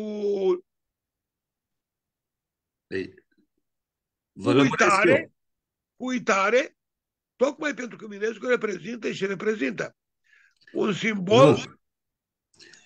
Nu, domnul profesor, fiindcă le-a spus nu mai furați. Gică Manole, de ce ai da. contestat astăzi? Fiindcă le spune, n-a furat. Domn, domnul Ignat n-a furat niciodată, nu voi fura niciodată, pentru că urăsc congenital hoția și trădarea. Știu? Dar Mihai Eminescu nu numai evreilor a spus nu furați. Cu siguranță. În uh, extraordinarele lui articole el face o critică de o duritate imensă la adresa politicienilor uh, timpului său, pe care acuză de toate relele posibile și imposibile. De hoție, de trădare, de prostie, de înaltă trădare, adică de toate relele pe care politicianismul le aduce pe capul unui popor. Nu erau nefondate acuzele lor. De, toate eu acuzațiile lui Eminescu erau justificate. Cu siguranță. Eu mă uit la cine îl contestă astăzi pe Gică Manole. Da. Toți sunt oameni care nu muncesc. Da. Am văzut recent un tip care, uh, Gică Manole a scris vreo 30 de cărți. Ăla da. a scris una singură cu, da. cu CAP-ul. Da. Nu, dar domnul, domnul Ignat, eu, uh, eu am aflat și eu cu stupoare, astuvară, când guvernul României a intervenit pe Alexandru Moraru să interzică evenimentul de la Palatul Culturii, unde e mare editură, Cartea Românească lansa simultan vreo 10 cărți ale mele, a intervenit domnul de la guvern, a, inter... a vorbit direct la Palatul Culturii și apoi a ordonat la vreo 10 indivizi să mă atace din toate pozițiile. Domnule, la București, la Cluj, la Iași au început un atac devastator. M-au, m-au acuzat și m-au bagiocorit. Eu rămâneam mut de uimire, dar nu mă supăram. Că n-ai cum să mă... Când eu știu ce lucrare de doctorat am scris și când văd un individ care mă acuză că am primit cadou lucrare de doctorat, eu am, eu am zâmbit, am râs, ăsta e bolnav. Da, nu era bolnav deloc. Știți de ce? El a vânduse diplome. Și era normal să fii spărat pe dumneavoastră că a pierdut un client. Nu cred. Băiatul ăla... Individul, nu, nu, respectiv nu. Era, individul respectiv era fiul unui mare istoric, al tatălui mi-a fost profesor. Nu, El nu este mare istoric, este istoric. Dar, domne, domne, e, nu, nu, mi scârbă. Eu pot să-l dau un judicator când că a rămas acuzația. Da, dar colegii lui care mi-au dat doctoratul mie, am înțeles că l-au tras foarte tare de gât. Păi, dar nu oare și vezi lucrarea acolo și-a făcut omul ăla. Vezi că ce-a muncit omul ăsta, cum îl acuzi așa? Și văd că tace. Eu oricând pot să-l dau în judecată, dar nu cred că... Domnul meu, când m-a atacat ăla, Dobrincu, ăla, Leuștean, ăla, ăla, ăla, când la radio toți luau atitudine ce pericol reprezint eu pentru cultura română, pentru că am îndrăznit să scriu o carte numit Ion Antonescu, Omul de Stat. Și culmea, cartea am scris-o în baza stenogramelor Guvernului României. Documente oficiale și atât. Ei, în loc să zică, Doamne, o premieră în istoriografia românească, ei m-au acuzat de toate relele putem. Încă o dată, nu mă deranjează că au scris o carte 20. Eu știu că ei m-au atacat la comandă politică. Ei, dacă ar avea puțină, să zice, folosesc cuvânt, deontologie, Dom'le, să e o carte aia pe care o acuză un domnul tare, să văd ce cu ea. E la librărie acolo în Iași. Opa, e altă situație. Ori ei nu fac lucrul ăsta. Pentru că ești firesc. Când Academia Română, universitățile tac, evident și ei să mă atace pe mine că scriu ceea ce nu le convine stăpânilor lor. Că și unele din cărțile mele deranjează foarte tare pe actualii stăpâni ai României. Și am să vă citesc de pe acum cartea Ion Antonescu, Omul de Stat, cartea Ion Antonescu, Monografia, sau cartea Corneliu Zerea Codreanu, un om al istoriei mari. Nu mă deranjează, să mă conteste, dar eu i-aș invita întâi să citească, să citească, citească ca o carte și apoi să mă acuze. Și apoi, nu eu, eu, eu, sunt atacuri la comandă. Vă dați seama că, dom, domnul Ignat, un domn din Ialomița, Slobozia, pardon, mi-a trimis o fotografie cu șapte cărți ale mele, coperțele. Și deasupra era un titlu. Era cartea acolo, titlul mai un politic, Ștefan cel Mare, Carol al doilea la dezertare, la genocid, drumul României spre catastrofă, Apocalipsa după Stalin și parcă mai era una. Cornel Codreanu, da. Și scria așa, cărți de folosit în loc de hârtie igienică. A, bine, prietenul de la... Alo, alo, eu am râs. Am avut o stare Doamna. de am avut o stare de veselie scletească incredibilă. Domnul meu, eu, ce cât să repet, cartea mea, Titu Maierescu, omul politic, e în librării României. Și acum, să o ia. Ai carte de seriozitate care l-a determinat pe academicianul Alexandru Zub să fie încă în viață și îndur, să îndure Dumnezeu de el. Domnul Alexandru Zub a spus foarte clar că va rămâne cât va fi timpul un reper istoriografic ineluctabil. Un academician. Iar am el o spune... Am vrut Ia. să citesc ceva ce au pus pe no, spate, dar nu. Ați spus dumneavoastră. De ce? Atenție! Nu încercați să-mi luați apărarea, să credeți că mine mă consumă, mă obosește, mă doare sufletul că mă atacă. Să mă atace. Domnule Ignat, e de ajuns că am conștiința limpede, că l-am furat. N-am plagiat. N-am plagiat. N-am plagiat. Am fost un om corect, am scris cărți oneste, documentele le-am folosit cum trebuie, am trimis la subsol, am tras concluzii, am făcut analiză istorică, am făcut sinteză cum trebuie, iar lui să-i mulțumesc că mi-a dat puterea să scriu câteva cărți bune. Domnul deci, profesor. Domnul Ignat, cu asta stac, să vorbiți, nu-i ușor a trece ca și cum n-ar fi nimic peste câteva cărți pe care eu le consider importante. Ion Antonescu, de 1400 de pagini, Carol al II-lea de 1000 de pagini, Apocalipsa după Stalin, Drumul României spre catastrofă, Titu Maiorescu, omul politic, Ștefan cel Mare, Cornelis Zelea Codreanu, Memorile Sergentului Anichitei, Mihai Eminescu despre Bucovina și Basarabia, Mihai Eminescu despre evrei, și, și, și alte cărți. Am conștiința că eu n-am trișat. Știți care e și mai mare nenorocire în viața unui intelectual? Vă spun ca o confidență. Când ești o caiafă, ești un uh, fariseu, ești un om fals în forul tău interior. Când tu însuți, în sufletul tău, ești lovit de nulitate. Ești un om de nimic și pozezi în nu știu cine. Eu n-am pozat nimic. Cine vrea să cunoască sufletul meu, să citească romanul autobiografic Ispita memoriei. E o confesiune directă către frații și surorile mele de acum, de acum vreo 17-18 ani. Un roman numit Ispita memoriei. Deci eu n-am sentimentul vinovăției sau a durerii când mă acuză. Scuzați-mă, domnule, eu știu cum sunt cărțile mele. Da. Domnul profesor, dumneavoastră n-ați fost contestat pe cărți. Știți de ce? Fiindcă ele au fost studiate din punct în virgulă și din virgulă în punct. Ei au știut că acolo nu vă pot ataca. Ei v-au contestat doar pe informații. Au închis emisiunea domnului Alexandru Amintiteloai la Polonia da. TV pentru da. ceea, nici măcar pentru ceea ce ați afirmat, fiindcă ați fost acoperit, pentru tonul documente. folosit.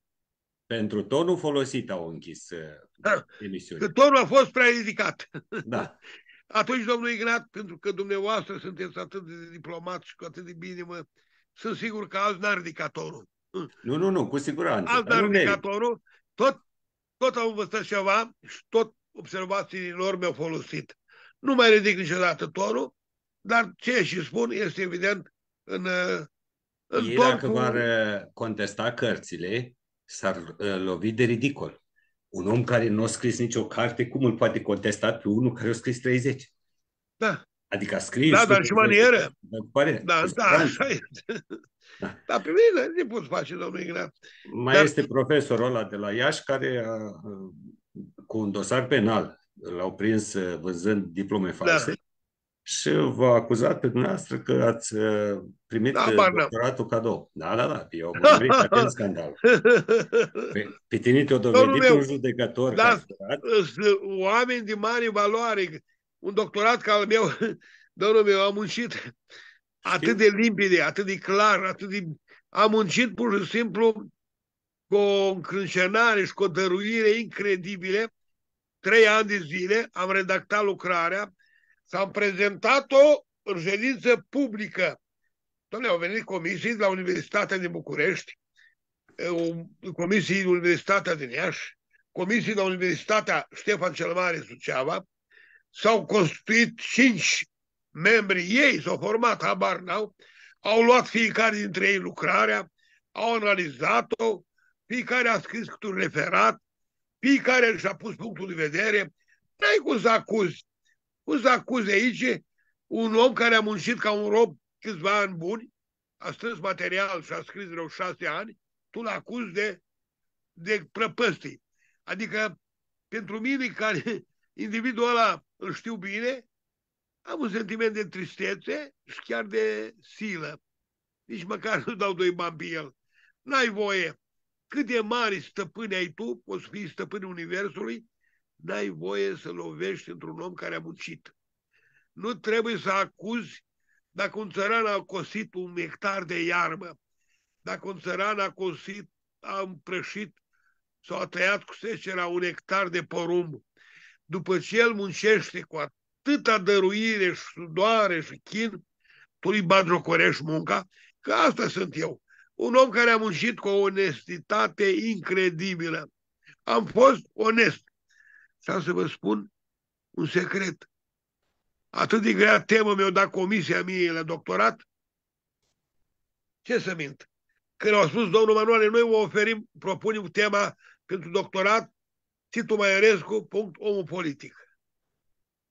Eu am lemnit când am auzit. Bă, frate, eu știu, nu a scris nimeni. Știam că Lovinescu a scris ceva și cam atât. Nicolae Manolescu avea o carte contradicție. Păi ce treabă? Ei, nu e nimic. Un stat, provocare uriașă. În 2004, când mi-au propus lucrarea, eu eram sigur că nu voi scrie asemenea carte. Dar a trecut un an, a Greșit. trecut doi și din 2006, imediat am zis, treci la strâns material. În vacanțe, am început să caut. Ei nu mi-au dat comisia, adică 5 titluri biografice, restul cele 800, 1000 de titluri, am căutat eu. S-a început eu, cultura mea, să caut oriunde. Biblioteci, anticariate și am strâns. Deși o lucrare, doctorat, pentru care eu m-am implicat, de, adică cu toată ființa mea. Iar faptul că nu uit niciodată că au fost filmată niște colegi ședința publică, comisia însă și era încântată când mi-a oferit titlul de magna cum laude pentru o lucrare doctorat de asemenea calitate. Și eu acuz fi acuzat la ordinul lui politrucului din guvern Alexandru Muraru că am primit cadou lucrare. Nu am primit niciun cadou. Și singurul cadou care l-am primit domnul Ignat a fost de la Dumnezeu când mi-a dat putere să depășesc moartea și în ultimii opt ani de zile, da, opt ani de zile am scris prin surpoarea mea și prin surpriza mea în jur de vreo 17 cărți. 18 cărți. Adică în 8 ani de zile am scris 18 cărți, este incredibil. De asta câteodată vă spun că am ajuns, deja consider că am scris suficient de mult. Eu am văzut că deja dumneavoastră mergeți și în alte zone spre o filosofie a istoriei mai mult decât istorie Da. propriu-zis. Pentru că, într-adevăr, cum mai spun prietenii noștri, o să rămâneți în istorie cu Eh, Corneliu Nu Zelea doresc să fac Codreanu, altceva. cu înainte Ioan de toate, Antonescu. Da. Ioan Antonescu este o carte, domnule, pe care multă lume o consideră capodoperă. Dacă ei o consideră capodoperă, diplomat, general, colonei, și eu o consider. E o carte bună de tot. Uh, Domnul profesor, îmi pare rău, eu n-am reușit să, să țin pasul cu dumneavoastră, că trebuie să mă uit și la chat. Nu sunt uh, un bun... Dar cât e ora, nici nu dau seama nici eu. Avem o oră și 40 de minute, un pic mai bine. Da. Eu, Acum- uh, spuneți dumneavoastră, sugerați ce ar mai trebui spus, că eu... Uh, Uh, nu, uh, să trageți niște concluzii vis-a-vis de uh, cum a fost deformat uh, Eminescu în mentalul colectiv. Deci e prezentat așa ca un tip slăbuț, veșnic flămând, da. supărat. Da. Nu. Mulțumesc încă o dată. Este foarte important întrebarea dumneavoastră. Mihai Eminescu nu este pesimistul de serviciu al culturii române. Da. Mihai Eminescu nu este nostalgicul după nirvana nu știu cărei salvări de după moarte. Mihai Eminescu n-a fost niciodată o ființă umană șubredă, bolnăvicioasă, neputincioasă. Mihai Eminescu de la 14 ani a rupt legătura cu familia și a plecat pe jos, încălțat și a știut el, spre Transilvania, s-a stabilit la Blaj, s-a dus în Banat, s-a dus în Crișana, a coborât Carpații, București, Giurgiu, a umblat peste tot, a citit, a fost actor, suflor la teatru, a, fost, a făcut de toate. Mihai Eminescu, pe care, toți care îl invocă cu necunoaștere ca pe un poet damnat și ca pe un spirit șubret bolnăbicios, sunt alături de adevărul istoric. Mihai Eminescu este o super forță, e un bărbat de mare valoare morală, fizică și intelectuală. El, eu, printre altele, vă anunț că el cât a trăit șase ani la timpul 77-83, el a fost tot timpul la Parlament, asistatul lucrării Parlamentului. Articolele lui sunt scrise, studiile lui, ca a urmare a observațiilor directe. Mihai Eminescu în tot ce își scrie și critică cu atâta forță și determinare, se prezintă ca unul dintre cei mai puternici și valoroși gânditori, atenție, gânditori pe care i-a avut vreodată neamul acesta. El a elaborat, s-a articulat în toate fazele ei marea ideologie națională culturală și națională românească. El a stat, să zicem, la baza marii sărbători de la Putna de 1871. Știți ce a spus el? Studenților din, de la Viena, români, din tot spațiul românesc? Băi, frate oare, tu din Bucovina, tu din Banat, tu din Maramureș, tu din Ardeal, tu din Munteria, eu din Moldova, toți trebuie să ne unificăm din punct de vedere cultural, întâi unitate culturală în numele ideilor noastre și a viziunii noastre și apoi unitate politică. Deci Mihai Eminescu este creatorul unei extraordinare ideologii naționale care să conceapă și să făptuiască o unitate culturală a neamului nostru, nu uitați că limba română actuală, literară, este scrisă, articulată de Mihai Eminescu. Dicționarul de rime al lui Mihai Eminescu are mii de rime. Cum merg? Eu sunt copleșit. Mă uit la mut, că eu sunt un om mic pe lângă. Deci Mihai Eminescu nu-i spiritul ăla de poet neputincios care își așteaptă în zadarnic iubita. El cântă frumos, Lopi. A văzut pe doamna după perdele. O iubea. Spune el că mergea pe lângă plopi. Dar nu putem să transformăm un simbol național ca Eminescu într-un individ bolnăvicios îndrăgostit de. A iubit o fată. Țineți minte ce frumos spune. Ah, în curând, paș, um, cum zice el, și în spus al stau noi mână în mână toată noaptea din vorbă. Sara, pe deal, știți, la asta mă refer. Ah. Bușul îl sună cu jale, ah, în curând pașii spre tine merg, grăbesc. Ai iubit o fată, ai iubit și altă fată, ai iubit o femeie, dar dimensiunea culturală, reală, a personalității lui Mihai Eminescu este de, atenție, mare revoluționar mare ziditor de ideologie națională, mare vizionar. Este un om copleșitor de important că și tot ce a scris el a postulat el, s-a verificat în timp ca lucruri reale și adevărate. Deci, să încercăm să micșorăm latura lirică. Eu uh, sunt foarte zâmbesc când aud, mă duc undeva și aud fel de fel de voci, oh, nu știu, neorlăituri, nostalgii. Dom'le, iubirea ei are sensul ei, frumuseții în ei. Dar Mihai Eminescu, dom'le, te ajuns să citești 10 articole devastatoare ca să dai seama că este cel mai sănătoasă minte pe care a născut-o vreodată poporul acesta. O minte sănătoasă, puternică, vizionară, cu o cultură, o complexitate incredibilă.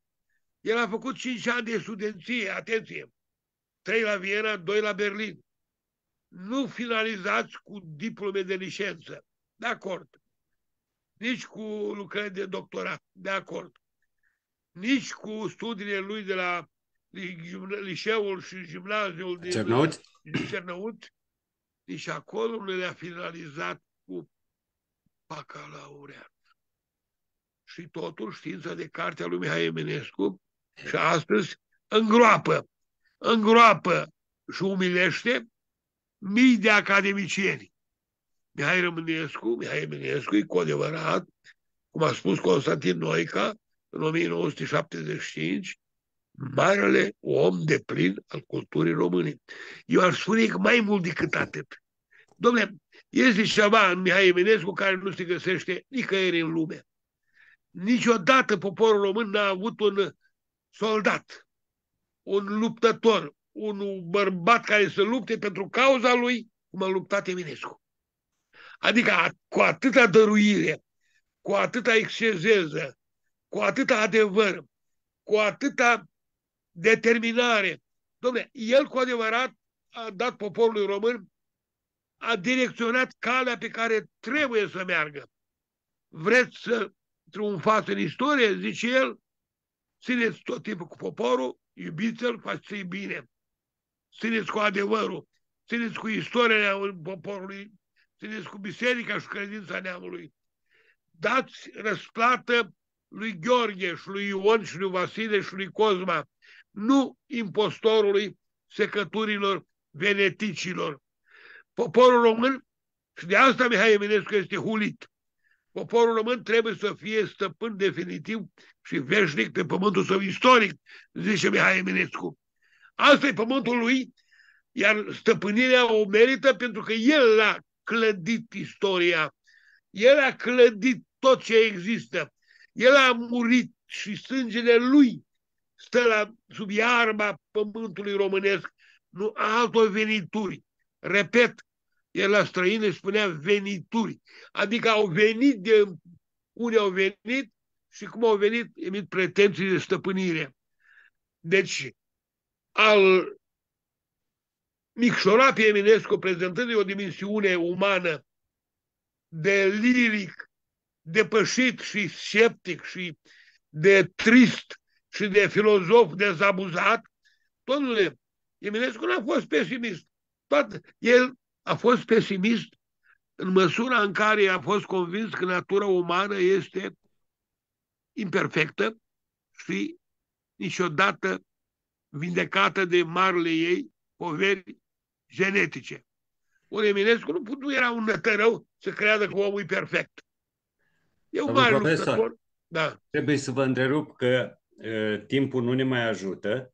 Vă da. roagă cineva din chat să, dacă este timp, să vorbim un pic și să vorbiți un pic și despre Ion Creangă. Și vă salută domnul Florin Găină. Mă roagă să... Domnul să Florin Găină de la aceeași comună cu mine și eu îl salut da, cu drag. Da. Este într-o familie Urmărește. foarte importantă.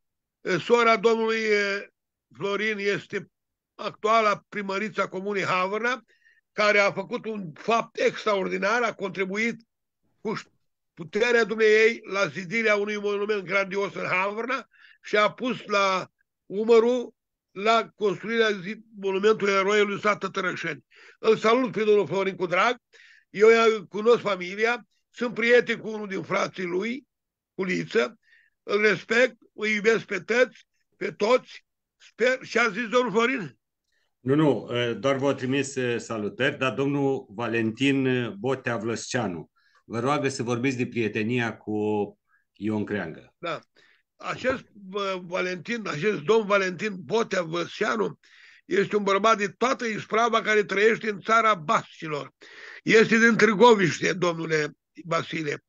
Trăiește undeva în Spania, muncește din greu, cum tocmai am spus că domnii ne-au confiscat statul și au izgonit pe români, trăiește acolo, iubește istoria, citește câteva cărți ale mele, are un colț, mi-a arătat prin poze un colț miraculos în care își păstrează dragostea neștirbită față de neamul nostru, de istoria noastră, iar despre prietenia cu creangă pot să spun doar atât. S-au întâlnit întâmplător când Mihai Eminescu fusese dat de afară de la funcția de revizor școlar, că Mihai Eminescu, fiind uh, prietenul oarecum cu Titu Maiorescu și guvernătoarea conservatoare, a fost numit de Titu Maiorescu inspector școlar pe județele Vaslui și Iași. Am toate inspecțiile lui Eminescu. De asemenea, Eminescu a fost numit tot prin Titu Maiorescu bibliotecar la Biblioteca Universitară, a fost dat afară de către dușmani și a rămas la un moment dat fără une să doarmă, să trăiască. Era cunoscut cu creangă de la întâlnirile junimii și a mers creangă, vine la mine, Mihai, vine la mine și dormi. Și pentru că Ion Creangă avea atâta inteligență cum să trăi poporul ăsta, povestea atât de frumos, este un lucru pe care nu știe nimeni. Tot ce a scris Ion Creangă a scris doar că Mihai Eminescu i-a spus scrie Mihai, scrie Ion, scrie Ion, spui extraordinar, pune pe hârtie povestile tale. Și s-a dus la casa lui Ion Creangă, avea o casă năcăjită, s-o păstra pozele, cu o doamnă, Tincuța. Trăia el în concubinaj Ion Creangă și Mihai Eminescu cu Ion Creangă au trăit acolo câteva luni bune. S-a găsit un pat într-un Mihai, în cămăruță, când era iarna dormeau mai înghesuiți, iar primăverile și verile, ei cum iubeau viața și poporul român, prietenia lor a evoluat că au călătorit pe jos toată partea Iașului până încolo în Vaslui, până pe malul Prutului, se opreau la fel de fel de hanuri, mâncau ce puteau, beau câte o cană, două, trei, patru de vin, povesteau, Eminescu deoseb, că Eminescu știa multă istorie, de istoria românilor, e creangă, s-a apucat de scris la obligația pe care a impus-o Eminescu, iar prietenia lor a durat 75, 76, 77. Sunt ani când ei au stat împreună, au vorbit, au cântat, au plâns, au băut vin, au mers pe jos, au mers pe la stâni. La stânile din zonă mergeau pe jos, vorbeau cu șobenii, cu oamenii, că ei sunt, pentru a cunoaște poporul român, trebuie să mergi la stână, domnule, nu să mergi într-un cuib de o travă, de viperă, cum e Academia actuală azi, unde sunt câteva zeci de indivizi de o lașitate morală incredibilă.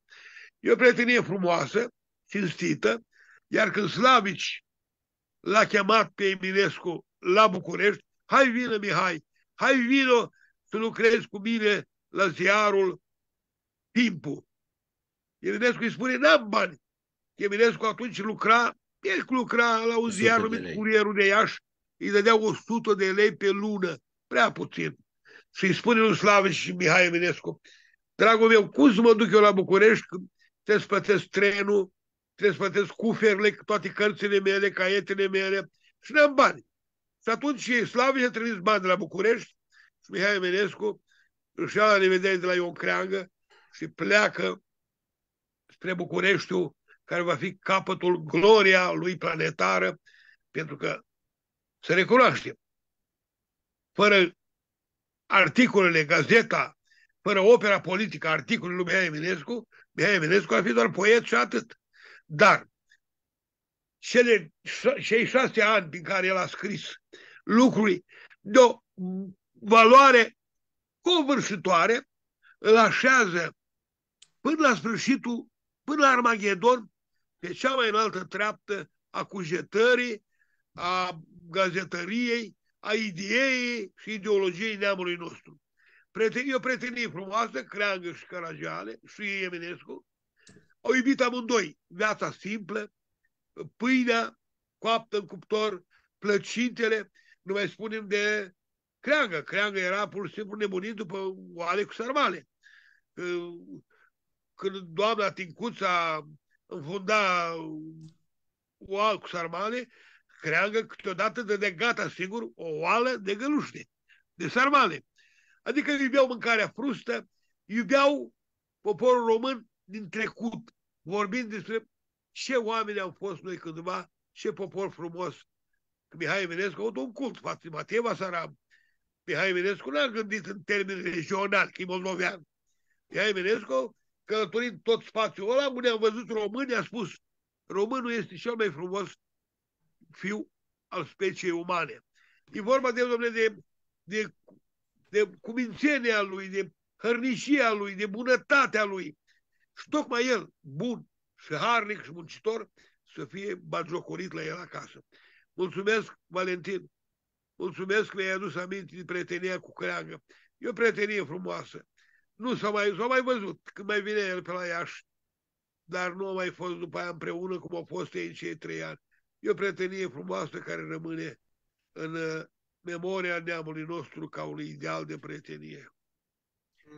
Da. Domnul profesor, trebuie să ne luăm la revedere da. și să salutăm pe toată lumea care a stat cu noi. Salutăm cu prietenie pe toți. Și vă asculta pe dumneavoastră, uh, mă uit pe comentarii, toată lumea e încântată de prestația noastră astăzi, ca de obicei. Nu se poate de a oferi prelejul de a vorbi de lucruri atât de importante. Și am să vă spun un lucru tot secret. Tot ce vă spun poartă pe cetea sincerității. Eu nu vorbesc de dragul de a simte vorbi. asta. Nu e niciun secret. Se Mulțumesc, simte. Toată Gran. lumea o văzut. Sunt tare bucuros că un consătean de al meu, domnul Florin Găină, m-a salutat. Eu îl știu că sunt mai mulți frați, mai multe surori, familie foarte frumoasă și veche de acolo. Și uite, îmi face o bucurie că m-a văzut, bă, eu știam că e Italia, domnul Florin. Îi salut pe toți cu prietenie, și Valentin, și Florin, și pe toți ceilalți care eu nu-i cunosc. Doamne ajută, mulțumim la toată lumea care a stat și l-a ascultat pe domnul profesor.